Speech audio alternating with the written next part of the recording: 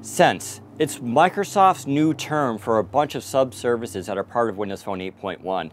We now have Battery Sense, Wi-Fi Sense, and Storage Sense. Let's take a look at what they are.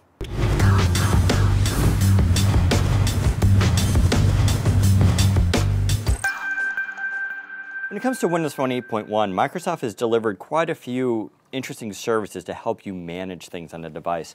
Now we've always had Battery Saver, but as you can see, it is now pulled out of settings. It's still listed there, but it's also listed here in the main app listing. And the best thing is you can, of course, pin it to start. Now, I've already done that, and so we'll take a look here. So it pins the icon to your start screen. And that's really useful for quick access. And you can see it's got this cool little battery that's showing. But what's interesting, that's actually a live tile. That means that battery graph is actually reflective of my current battery status. So it doesn't show you a percentage, but if you always want a percentage, you can just bring it down here and you can see your battery status. But going back to this, if you tap it, it's going to open up Battery Saver. Now let's take a look at this. It's been completely revamped. As you can see, it is breaking down the battery usage by app. And so I've been using Cortana a lot, of course, and you can see it's always you know, always allowed to be used and it's been consuming the most battery. I can also go down here, you can see what's been using battery and what's not. Now if I tap any of those, it's going to bring me to a settings screen. So now you can individually control apps. You can see app in use, app in background. Cortana barely uses anything in the background, so you can know it's basically a safe app. You can always allow it to run in the background. And then there's this option now, which is when battery saver is on. Battery saver is an option you can turn on or off, but it basically says that when your battery gets below 20%, it starts shutting off some core services to help preserve your battery. After all, you may want to make a phone call. However, this allows you to override that. So if you have an app like say WhatsApp, or a messaging thing you want to use, you can go through and configure that. So I can turn Facebook, I can make sure I'm still getting my Facebook notifications if I deem that super important. So that's a really useful feature and we like the new control. It's a, a whole new level of uh, ability that it gives to users. Scrolling over here, you got your standard battery saver settings, shows you your battery level right there with the full percentage. It gives you your information about your charge, the last charge, and how long you have left. You can see just changed. So it's 23 hours. This also does update a little bit more dynamically than before. I have my battery saver on. I can toggle that on or off. And you can see it gives you the same options that we had before. When the battery is low, it'll turn on. I can turn it on now until the next time I plug in, so it'll automatically fix it for me, or always, and I can basically make sure I'm getting the most out of my phone and for battery usage. So that's a quick look at battery saver. Scrolling down here, you can see storage sense is also pinned. So that also shows up in the app listing, and then you can pin it to your start screen.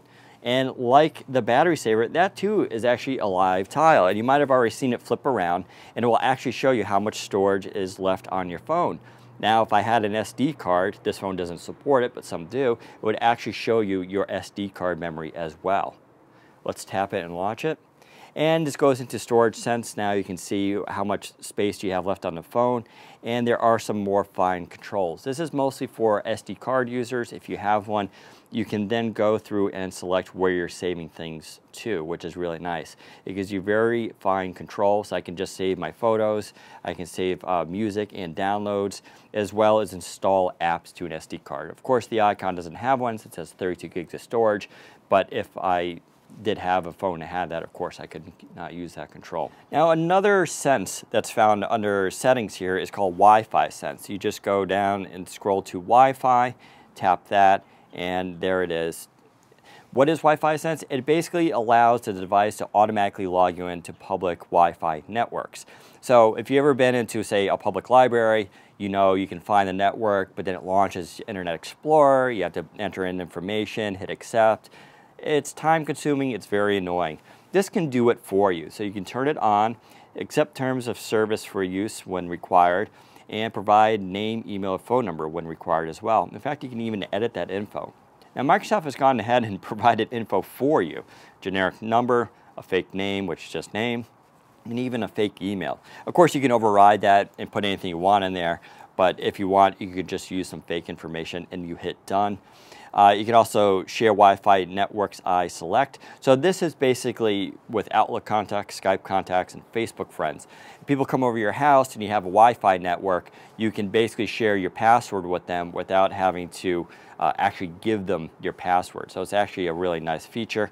Uh, so it actually explains it down there how that works. When it comes to managing services on Windows Phone 8.1, Microsoft has done a great job of delivering some enhanced applications. You have the new battery saver, which allows you to pin to your start screen. You can also have finer control over apps. Storage Sense now shows you your SD card, you can pin it to your start screen, and also gives you finer control. Finally, Wi-Fi Sense. You can now automatically log into public networks with false information, and you can even manage your own personal network by sharing it with people, but not giving them the password. It's a great enhancement and we think it'll make using Windows Phone 8.1 a heck of a lot easier for people.